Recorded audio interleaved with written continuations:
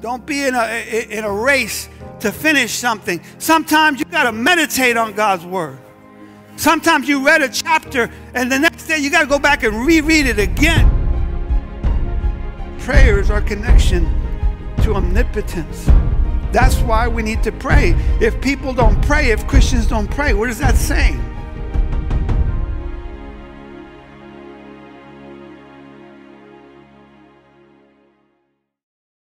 We reverence you. We are in awe of you, Lord God, and we bless your name this afternoon. We thank you, Lord, that you're here with us. Your presence is here. And Father, uh, with the same reverence, oh God, we're about to open your word. And Lord, because it's your word, oh God, and it's deep, Lord God. And Lord, it's talking about spiritual things, Lord. Your word tells us, and we've learned that we need your help. So we pray, Father, that you would speak to our hearts right now. Help us to focus in on what you have to say to each and every one of us, Lord. We look to you, and we ask this in Jesus' name. Amen. Amen. Can we give the Lord one more praise offering? A strong hallelujah. Thank you, Jesus. Amen. Amen. Praise God for the Ancient of Days. Right now, we're going to ask the children to start making their way to Children's Church, where they're going to be learning an awesome lesson about the gospel. Well, I want to talk to you about what the Lord laid on my heart today. Uh, I was thinking about, um, I don't know how some of you are, but how many of you have ever started a project and didn't quite finish it? Raise your hand if you're with me. Uh, you know, that's, uh, I learned because I've learned about some contractors and, and people that know how to do home, home uh, improvements and uh, they, a lot of them that told me that they do that all day, and then at home, their home is not so much improved. or they start and they don't quite finish it um, because they're busy doing everybody else. But we have that habit or a bad habit of many times starting something but not finishing it. It's, it's kind of a lot easier to start something than to stick with it and finish it. I was thinking about the people who run marathon races or any race at all. Some people start the race, but not everybody crosses the finish line. Only those that hang in there. And I want to talk to you today about finishing strong. Because it's not so much how you start it's how you finish that counts. We're going to read a story in the book of Second Chronicles. And the story is about a king who didn't finish very well. I'm going to read the story and then we're going to talk about what he did wrong. But I don't want to concentrate on that today. I want to concentrate on what to do right to finish strong. But let's read about this king. His name was King Asa. I'm reading from Second Chronicles chapter 16, verses 1 to 13, reading from the New Living Translation. It says this In the 36th year of Asa's reign, King Baasha of Israel invaded Judah and fortified Ramah in order to prevent anyone from entering or leaving King Asa's territory in Judah. Asa responded by removing the silver and gold from the treasures treasuries of the temple of the Lord and the royal palace. He sent it to King Ben Hadad of Aram, who was ruling in Damascus, along with this message Let there be a treaty between you and me, like the one between your father and my father. See, I am sending you silver and gold. Break your treaty with King Baasha of Israel so that he will leave me alone. Ben Hadad agreed to King Asa's request and sent the commanders of his army to attack the towns of Israel. They conquered the towns of Ijon, Dan, Abel Beth, Maacah, and all the store cities, store cities in Naphtali. As soon as Baasha of Israel heard what was happening, he abandoned his project of fortifying Ramah and stopped all work on it. Then King Asa called out all the men of Judah to carry away the building stones and timbers that Baasha had been using to fortify Ramah. Asa used these materials to fortify the towns of Geba and Mizpah. At that time, Hanani the seer came to King Asa and told him, Because you have put your trust in the king of Aram instead of the Lord your God, you missed your chance to destroy the army of the king of Aram. Don't you remember what happened to the Ethiopians and Libyans and their vast army with all of their chariots and charioteers? At that time, you relied on the Lord, and he handed them over to you. The eyes of the Lord search the whole earth in order to strengthen those whose hearts are fully committed to him. What a fool you have been! From now on, you will be at war. Asa became so angry with Hanani for saying this that he threw them, threw him into prison and put him in stocks. At that time, Asa also began to oppress some of his people. The rest of the events of Asa's reign, from beginning to end, are recorded in the books of the kings of Judah and Israel.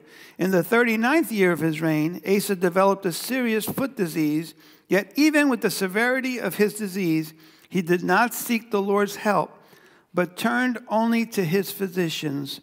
So he died in the 41st year of his reign finished very poorly. Let me tell you how he started. This king followed his father, King Abijah, who only ruled for three years. He was an evil king. And Asa was exactly the opposite. Asa began to remove all of the altars to false gods, all of the foreign altars, all the pagan shrines, cut down the Asherah poles, those detestable idols. And he commanded the people of Judah to seek the Lord. Asa also uh, uh, removed all the incense altars from the high mountains, all the high places. And so, because of he obeyed the Lord, he experienced, he and Judah, a time of peace. This was also the same king who, when the Cushites came against him, the Ethiopians and the Libyans, with a million man army, he prayed and asked God to help him, and God delivered him. Then that, they didn't even have to fight. God delivered all of those people into his hand, and he was very successful. But here we find that he ended poorly, and we're going to find out what he did. He didn't finish well because he relied on someone other than God. What did he do? Think about what he did this time for some reason. I don't know what happened because in times past, he sought the Lord, but this time, King Baasha of Israel, the 10 northern tribes who had, where they were totally lost with pagan worship from the start. Instead of going to God for help, for some reason he turned to the king of Aram. And what did he have to do? He had to remove the gold and silver from the very temple of the God that he served. Making a treaty and counting on this king who wasn't so uh, kind to the Israelites to begin with. But you know what they say money talks. So that they were able to buy this king. Think about this king, right? He had a treaty with King Baasha. So here comes King Asa and offers him money, and so he leaves King Baasha to fight for King Asa. This is the guy that he's seeking help from instead of relying on God. He didn't finish well because he believed his actions were right. It seemed like he had success because after uh, King Ben Hadad attacked Israel, King Baasha forgot about building the siege works against Judah, and he left, and he left them alone. And then, with all the materials that King Baasha had left, he was able to fortify some towns in Judah. It looked like, wow, what a victory. Boy, this was a great idea. He followed his own counsel, and he believed it was right. Then he rebelled against God's correction. This king, who was counted among the good kings, when the prophet of God, when Hanani came and told him that God was very displeased with him, he so disrespected this prophet, not only him, the God who sent him, which was his God, that he threw him in prison and put him in stocks. And then for some reason, he began to oppress the people. the people that he had prayed over for God to deliver them. This man was turning right before their very eyes. And then at the end of his life, he gets some severe foot disease. And it says, even then, he wouldn't turn to God, but only counted on his physicians. And then he died a sad death. This king who started out so well ended up so poorly. He finished the race very badly. And then he refused to turn back to God.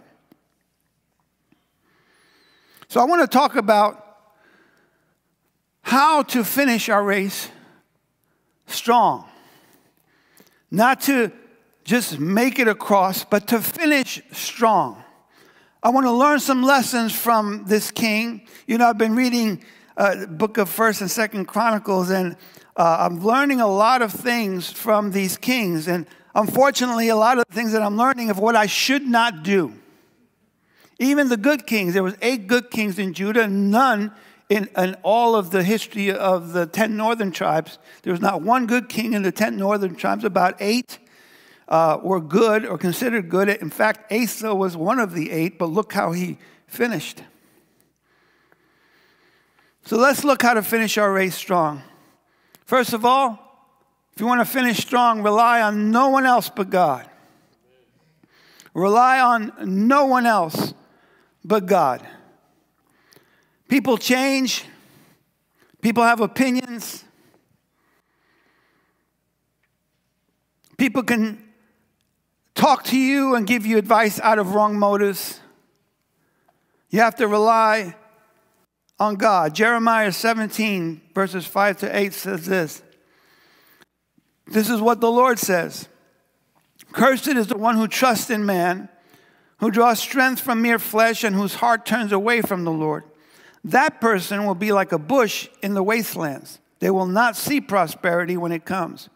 They will dwell in the parched places of the desert in a salt land where no one lives. But blessed is the one who trusts in the Lord. How many say amen? amen? Whose confidence is in him. They will be like a tree planted by the water that sends out its roots by the stream. It does not fear when heat comes. Its leaves are always green. It has no worries in a year of drought and never fails to bear fruit.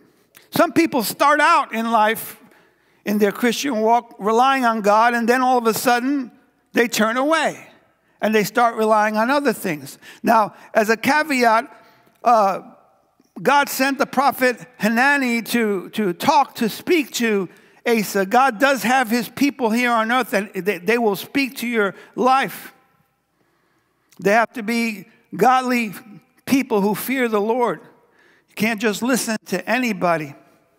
But you have to turn to God and rely on no one else but Him. How many say amen? Also, to finish strongly, to finish your race strong, don't trust your own counsel. Don't trust your own counsel. Proverbs 3 5, a very well known proverb, which I believe a lot of us need to really pay attention to. It says, Trust in the Lord with all of your heart. Do not depend on your own understanding. Asa thought he had done well. Asa thought that he, his idea was so good because it seemed like he had temporary success. But the prophet told him from now on, in other words, he messed himself up immediately because the prophet said, From now on you will be at war. Remember, he had a time of peace. Now, because he relied on somebody else, there was a time of he was going to be facing war for the rest of his reign. Secondly, he messed up the people of Judah for decades to come because the Bible said that God told him, Because you relied on the king of Aram and not on me, the, I was going to give King Aram, you were going to be able to destroy that nation, but now you can't. And King Aram, well, not, well, the Aramites, the Arameans began to uh, uh, uh, disturb Israel and attack them, not only once, but throughout their history. In other words, God could have defeated this enemy for the people, but because he disobeyed and because he relied on somebody else, now he affected future generations. Did you know that the decisions that you make can affect future generations.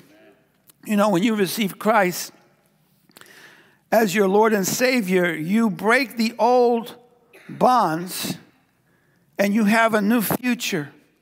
Before there was, uh, uh, you're on the wrong track, and, and, and what happens when you're on the wrong track, that the people that follow you, they've kind of continued that track. But you can break that curse when you receive Jesus Christ as Lord and Savior, and you stand, you, you begin to, to a, a new uh, walk with Christ that can affect generations to come. The Bible says that when you serve the Lord and you love Him, God will bless you to the thousandth generation. I'm keeping count. I got a lot of generations to go because as for me and my house, I will serve the Lord. How about you? Amen. Don't trust your own counsel. I, I know people who just make decisions. They don't ask anybody, they don't ask God. They're just like winging it. I was just listening to somebody talking about people who have five and 10 year plans. Uh, I'm not going to ask you to raise hands, but some people are planners. It's not bad, it's not a bad thing. I, I'm, I'm more, uh, you know, I, am more re- reactive. I don't have a five or 10 year plan for myself. But the person that was speaking saying, those of you that have a five year and 10 year plan, I can guarantee you this, it's not going to happen.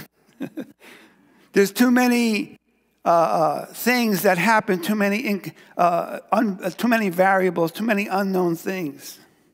We have to rely on Jesus. How many say amen? amen? So you have to rely on no one else but God and don't trust your own counsel. Also, to finish your race strong, be ready to receive God's correction. How many say amen? Be ready to receive God's correction. I don't know about you, but when I was a little boy, I didn't want to receive correction.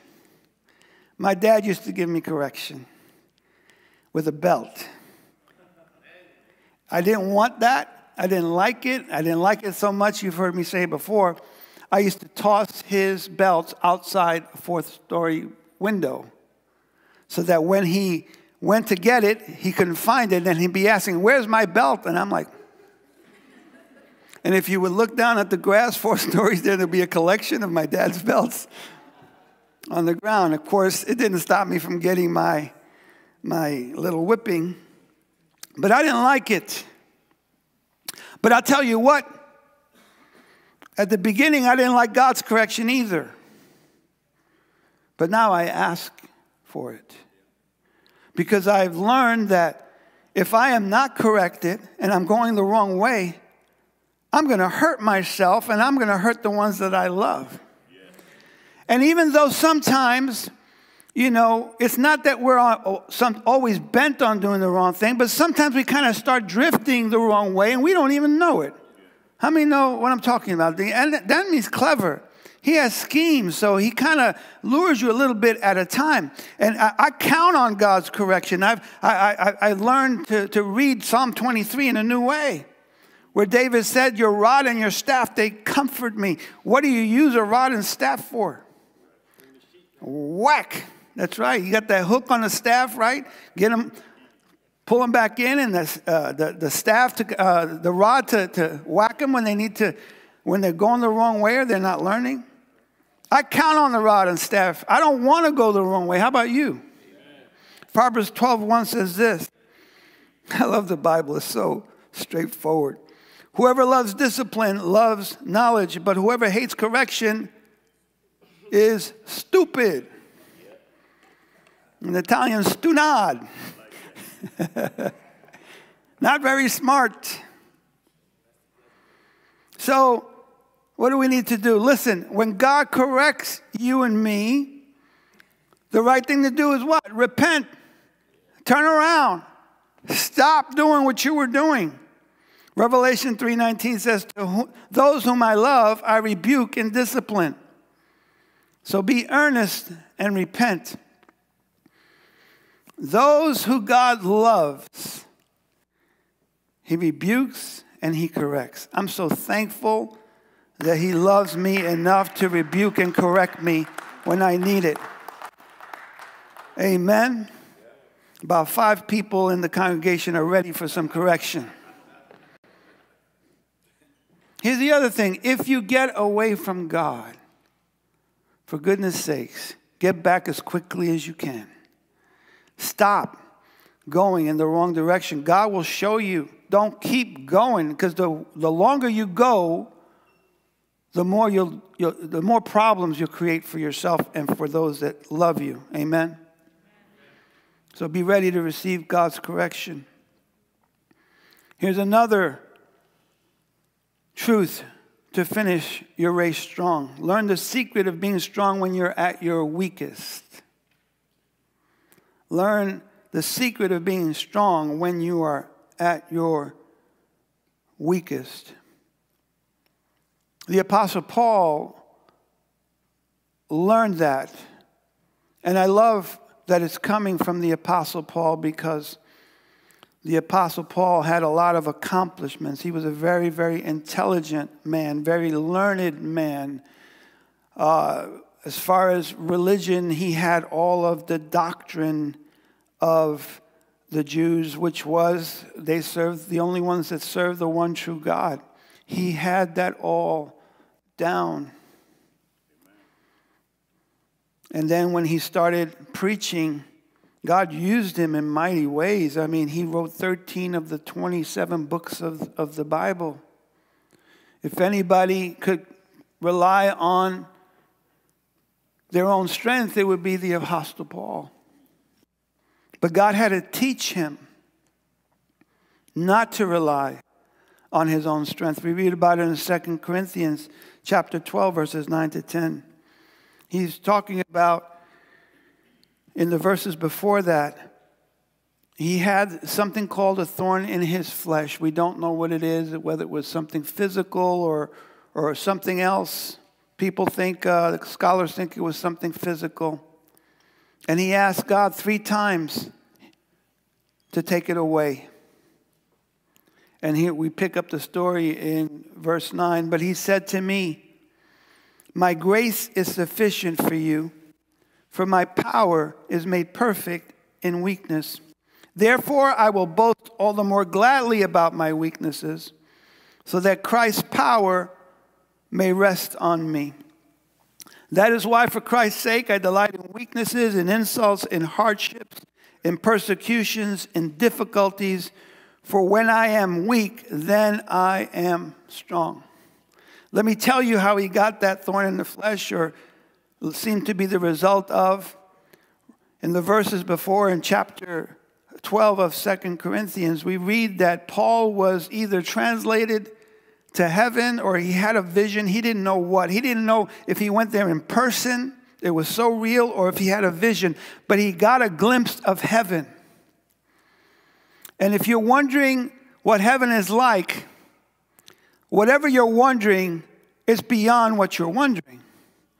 And what he saw was so incredible that he couldn't even speak about it. He couldn't even talk about it. Imagine seeing something so grand that you, you can't speak about it. But the Bible says that a thorn in, in the flesh was given to him so that he wouldn't become conceited. Do you know if God brings revelation to us, you know sometimes people get conceited about what God revealed? You see it, eh, you know, just turn on the TV for 10, 15 minutes on some of those stations, and you'll see people like prancing around like if they're something. Nobody's anything. God is the only one. Jesus Christ is the only name that we lift up and is worthy of all the praise. We, we, we, we, we have this treasure in jars of clay. We have to know we're just clay. Nothing special about us. Thank God that He allows me to speak His word. Amen. Paul had to learn that. But he learned it so well, and I don't know if I'm learning it this well. He said, I will boast about my weaknesses. And then he says, I delight. Tell me if this is you. Do you delight in weaknesses, in insults, in hardships, in persecutions, and in difficulties? Do you delight in that? Well, he did. You know why? Because he found the secret of being strong when he's weak. Because when you're weak, then the power of God can rest on you. If you're strong in yourself or you think you're strong, then you don't need God's power, do you? So, how, how do we do this? First of all, believe that God's grace is sufficient. You have to believe that God's grace is sufficient. How do you do that? You know how you believe that God's grace is sufficient? You have to believe that you're insufficient. That's the only way. If you think you're all that or you think you got this down, just give yourself a little time. I'll wait. You will reach that point where you'll see, you know what, I can't, I can't do this.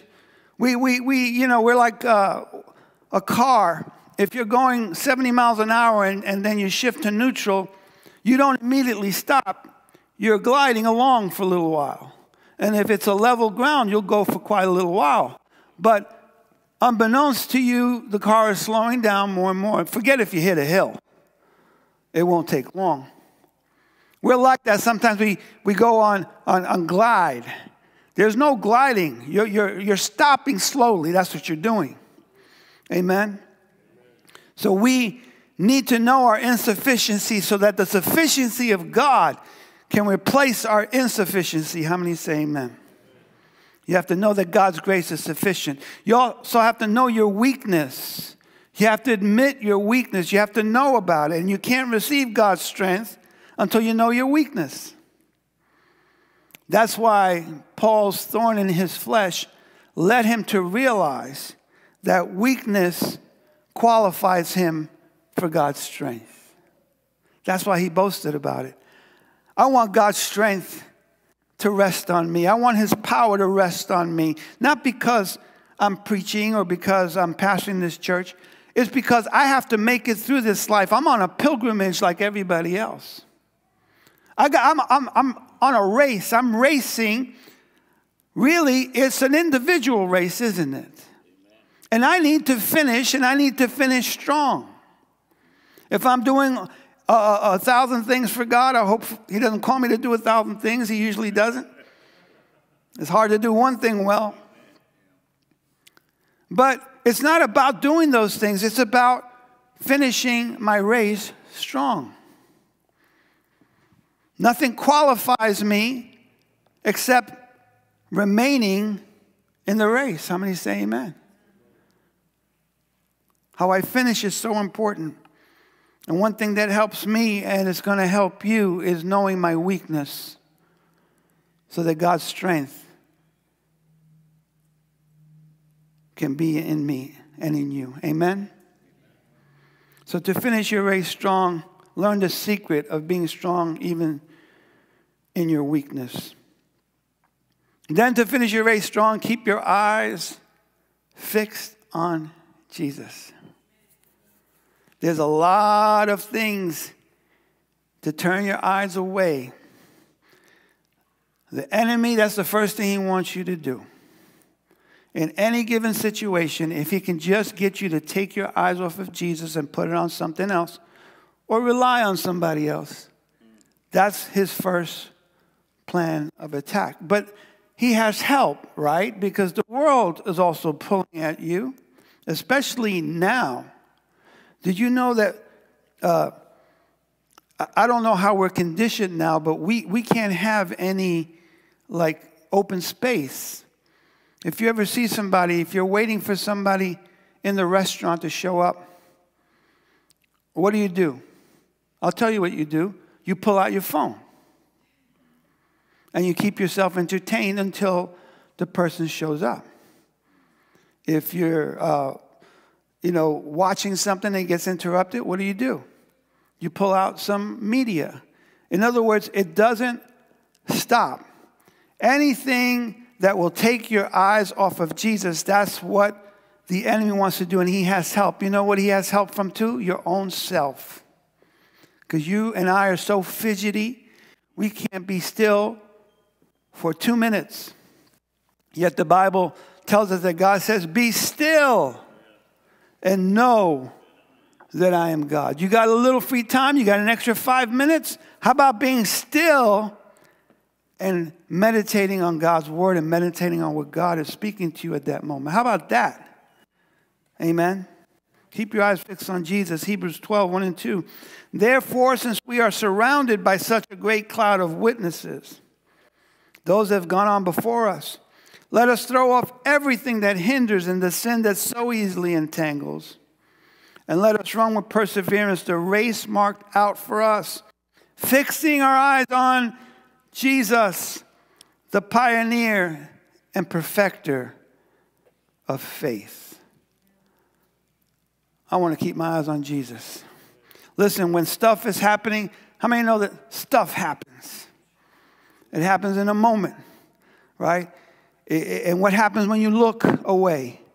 You start to get in trouble, just like Peter when he was walking on the water with Jesus. He was fine until he looked away. Because when you look away, you'll see some chaos. You'll see wind and waves, and it's scary looking. So, you know what I do when I see something? I'll, you know, if I took a glimpse, right back on Jesus. I had to learn that. Because if I'm looking at Him, my peripheral is diminished. And the closer I get to Him, you know, the closer you get to somebody, the less you see on the sides. And I want it so all I see is my Savior because He's going to get me through. He's going to get you through in victory.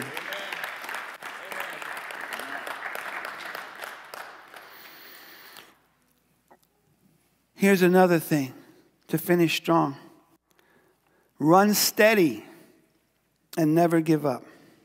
Run steady. 1 Corinthians 9:24 says, "Don't you know that in a race all the runners run, but only one gets the prize? Run in such a way as to get the prize." We run start and stop, start and stop, start and stop. That's not a way to run a, a race. It's steady Eddie. Keep going. Some people start out like gangbusters and they burn out. You know, they, they, they want to do everything, and all of a sudden they do everything for a little while, and then you don't see them anymore. That's not how you run this race. I tell people, how do you, how, you know, how do you read your word? How, how do you have your times of prayer? The most important thing, even more than time, you know, eh, some people want to start out with two hours of prayer when they didn't start, they don't know how to pray for a minute. You know, be consistent. If you're going to pray for five minutes, start with that. Then do it every day. If that's your quiet time, I, I guarantee you it'll grow. If you're going to read your word, it's consistency. It's not read it sometimes and then put it away and, and you know blow the dust off the next time. That's not how to run your race. You're not going to finish well that way. It's consistency. You don't have to read the whole Bible in a year. By the way, I'm not such a great fan of doing that because what happens is, you know this, you might miss a day and you fell behind. Now you got to do your homework and you got to catch up. So the Bible becomes homework. And, and, and you're reading, but you're not really knowing what you're reading because you don't have time to meditate now because you know you got to finish the Bible in a year.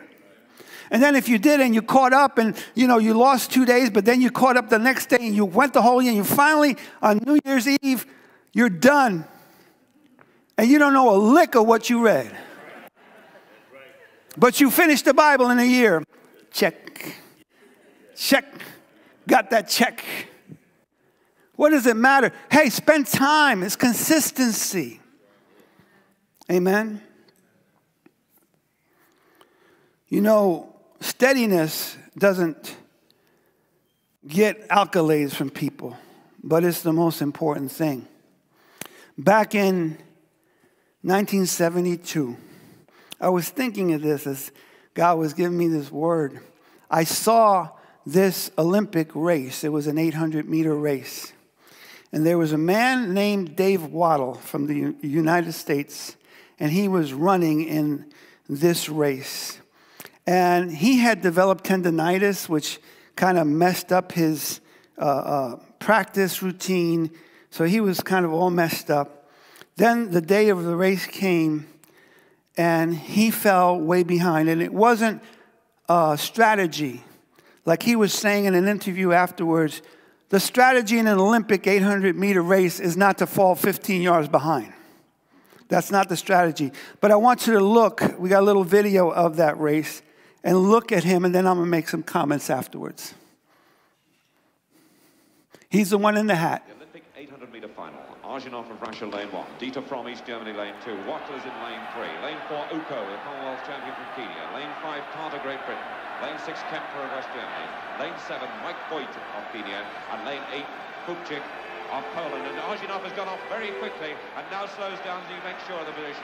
And coming right across from the outside is Mike Boit. The Kenyan 1500 meter runner, Ouko, his teammates, gone on the inside of the two Kenyans lead. It's Mike Boit leading for Kenya. In second place is Ouko of Kenya.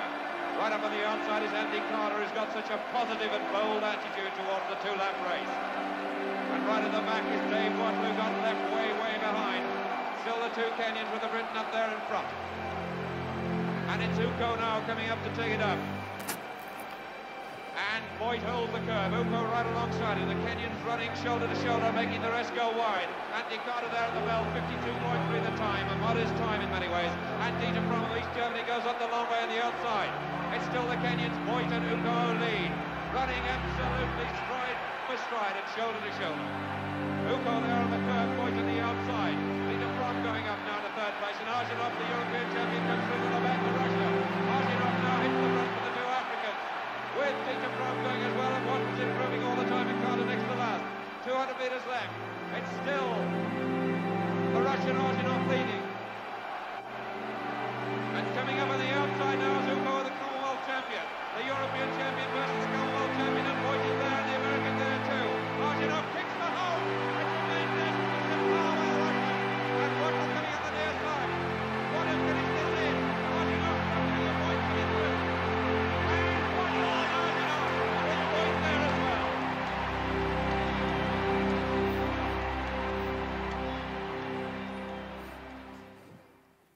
I want to tell you something amazing about that race. At the end, didn't it seem like he just kicked in another gear? You want to hear something? He did not. They clocked him, and he ran an average of 36 seconds every 200 meters. In other words, he ran steady. He ran steady, so what happened was it looked like he was running faster because everybody else was falling back because they had started out like gangbusters, and he was able to just run steady, and he won Olympic gold in that 800 meter race. Steadiness. Keep going. Don't stop. Keep praying. When you don't feel like praying, pray hardest then. Keep reading your word. Don't stop reading your word. Don't stop fellowshipping with other believers. Keep running. Don't ever stop. Amen. Timmy, if you'd come. I want to finish with this. And this is important. And it wouldn't seem like this would help your race, but in God's economy, oh, yes, it certainly does. To finish your race strong, help others cross the finish line. Help others cross the finish line. Galatians chapter 6, verse 2 says this Carry each other's burdens, and in this way you will fulfill the law of Christ. Those of you that are runners know that the last thing you want to do when you're running is to carry a burden. That's why you see runners with as little on as they have. It's a very light shirt, shorts, very light sneakers. They're not carrying stuff. You don't see them with backpacks at the line, right? Got enough problems. Now you, I'm running a race, and the word is telling me, God is telling me I should carry somebody else's burden. Oh, but that is a secret to running the race. You know, in this world, what you mainly see right? With, with, believers, it's different, but what you mainly see is people looking out for themselves, looking out for numero uno. That's what you're taught. You know, if you don't look out for yourself, nobody will, all that stuff. But once in a while, you see people that do stop and care about somebody else. and, and it grabs your attention because it's so rare. I want to show you another clip. This is a briefer one about somebody who did just that.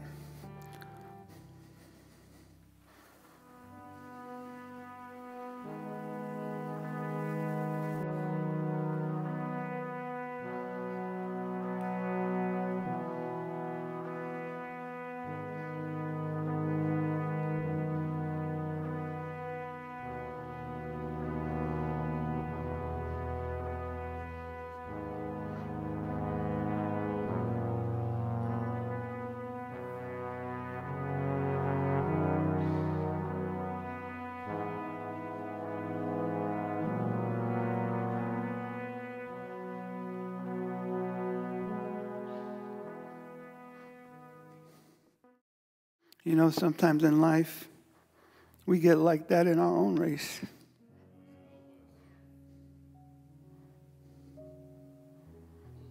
Sometimes life comes hard.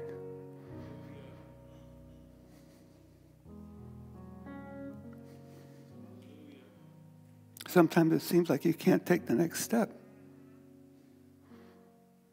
You saw a couple of the runners ran right past him, didn't even look at him. They're running their race. You got time for somebody struggling. Yet somebody stopped. You know what he did? He forgot about his race because other people crossed the finish line before him. But his goal, and if you saw who crossed ahead of him, the one that he was helping.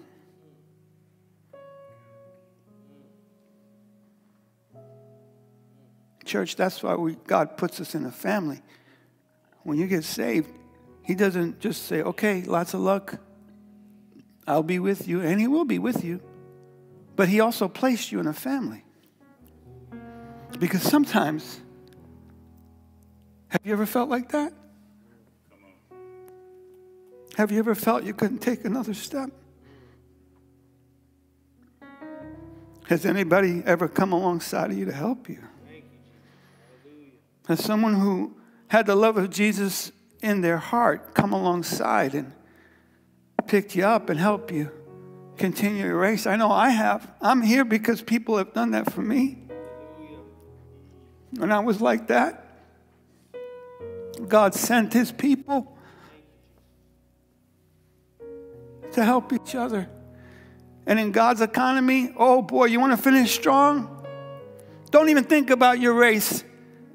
The Bible tells us over and over in Philippians chapter 2 do nothing out of selfish ambition or vain conceit, but in humility consider others better than yourself. Don't look out just for your own interest, look out for the interests of others, verses 3 and 4.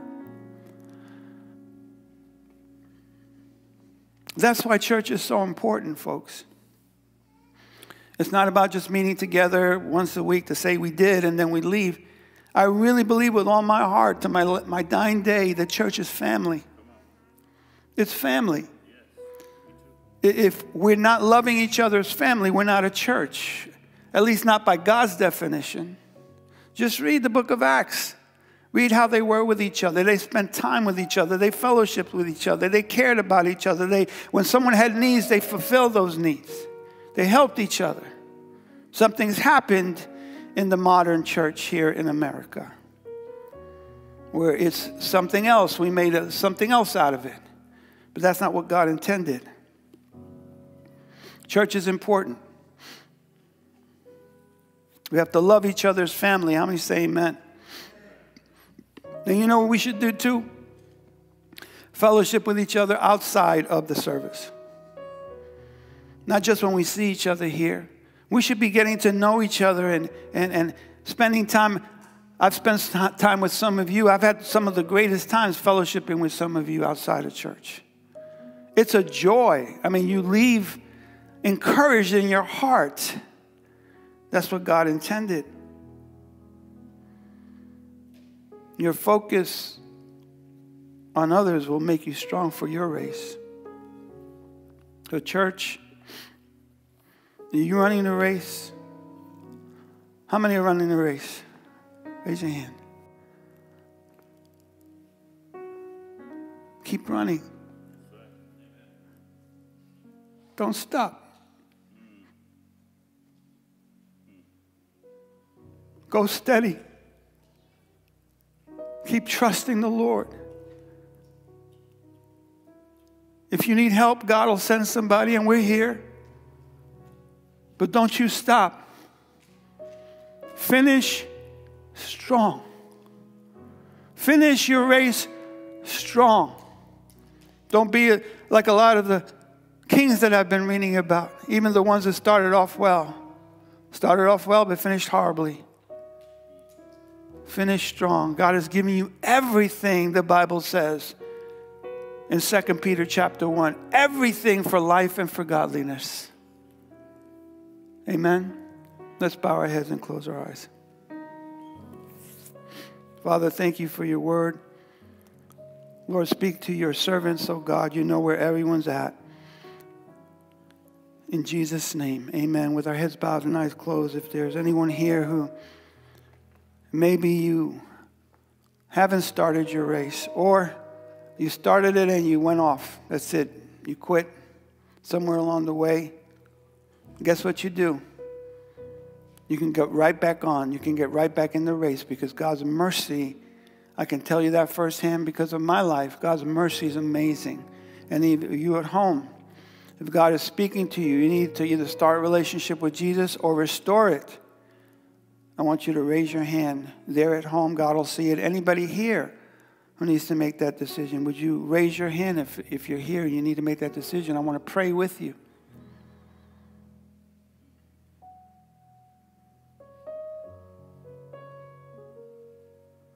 Amen. I'm going to pray and believe that there's someone watching online that needs to make that decision. So if you're watching right now and God is speaking to your heart, raise your hand and repeat this prayer after me. Say, Dear Lord Jesus, thank you for speaking to me today. Lord Jesus, I do believe that you are the Son of God. I do believe that you died on the cross, and I do believe that you rose on the third day. I also believe and I confess that I'm a sinner. I've done a lot of things wrong. I'm asking you to forgive me, to cleanse me with the blood that was spilled on Calvary. Lord, today I surrender my life and I give you my heart in Jesus' name. Father, I pray for anyone who raised their hand and said that prayer with me, Lord, I pray, God, that you would rush in like a flood, oh God. Let them know you're there, right there, oh God, and lead them from here on, oh Lord God. Help them to run a steady race, oh Lord Jesus. God, help them as they read their word. Help them as they pray, oh Lord God. Lord, help them to become part of a family that, that Lord, that, that, that is true to the gospel of our Lord Jesus Christ. Father, I ask this in Jesus' name. With our heads bowed and eyes closed, you're here. Those of you at home, you are in the race. But perhaps you're struggling a little bit. Perhaps you need help. Perhaps the Lord is speaking to you. God loves to help those that need help. That's what He's famous for. Is that you? Would you raise your hand? I'd love to pray for you. Yes, I see your hands. Yes, I see your hand. Yes, I see your hand. Amen. Let's pray together. Father, thank you, God for speaking to us, oh God. And Lord, you know, Father, your word says you, you have compassion on us because you know that we're just dust. We're made of dust, oh God. Your compassion is great. And Lord God, you not only have compassion on us, but Lord, you send your Holy Spirit to help us and to strengthen us, oh God, in our race, oh God. Lord, we remember what you told your servant Elijah when he got, Lord God, thrown off Lord God, at the end of some great ministry, Lord, he was sitting under a broom tree and hoping to die. And Lord, you didn't come and rebuke him. You told him to rest and you gave him food to eat because the journey was too much for him. And God, sometimes the journey is too much for us, oh God. And I'm so thankful, God, that you don't scold us, God, when we fall under the weight of it all because we've forgotten to give you the weight of it, Lord. Lord, instead, oh God, you love us back. And you feed us, oh God, what we need. And you encourage us, oh Lord God. And Lord, we find rest in you, the rest that we so desperately need, oh Lord Jesus. So, God, I pray for your servants today that acknowledge that they need and they want your help, oh God. Lord, do it, Father. Lord, I pray that a special dispensation of your strength and your grace will overshadow each person, oh God, that's asking for help this afternoon. And God, I'm asking this in the precious and beautiful name of Jesus. Amen. Amen. Can we all stand? Praise the Lord.